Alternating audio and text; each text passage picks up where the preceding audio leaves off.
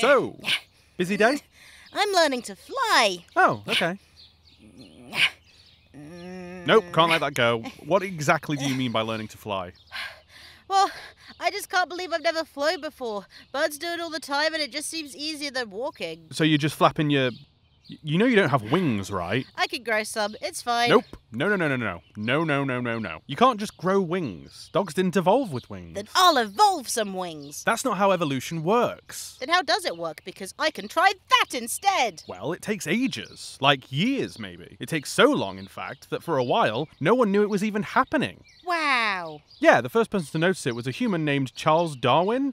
I mean, other animals might have noticed it first, but they never wrote it down, so who knows? I don't. But what we do know is that way back in 1859, Charles Darwin published a book called The Origin of Species, where he explained his scientific theory of natural selection. It was his way of using science to explain how evolution works. He came up with the idea after he went bird watching on an island somewhere. Bird watching? Bird watching. He was watching the birds very carefully, and he saw that some birds were different to others, and their differences helped them catch food in different ways. Different how? Like different beaks and sizes, I guess. Maybe somewhere on the island where the only food was nuts, the birds had super strong beaks to crack nutshells. But then somewhere else on the island where the only food was worms, they had super long, thin beaks to peck into the ground. Wow. How did the birds know to make their beaks different? Well, that's what Darwin wondered too. And that's when he started thinking about his theory of natural selection. You see, animals don't choose for natural selection to happen, it just does. But how? Well, okay, let me give you an example.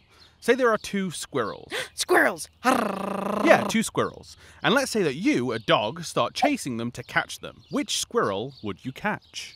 I could catch the squirrel that's not running as fast. Exactly right. So now imagine the squirrel that gets away, the fast one, has lots of squirrel babies. Well, those babies will be fast too. So when those babies grow up and you chase them again, they're all a little bit faster. You can still try and catch the slowest squirrel of the bunch, but the rest of the faster squirrels will get away again. And then they'll have babies who are even faster, and so on. But then won't the squirrels just keep getting faster and faster until I can't catch them anymore? Exactly. They didn't choose to be faster, but over time the faster ones are naturally selected. So now they're all fast.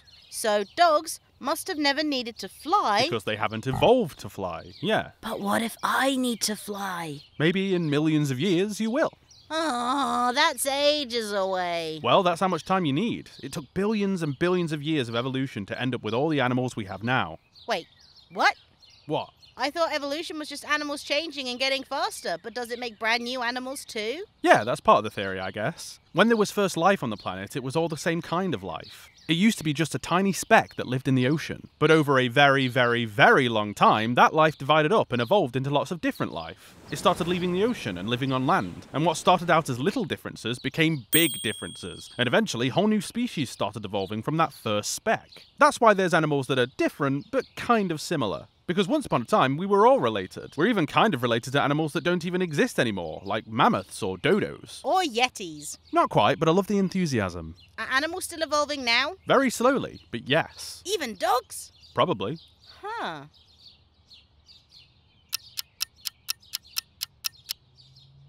Busy day? yeah, I'm just practicing breathing underwater. Oh, okay.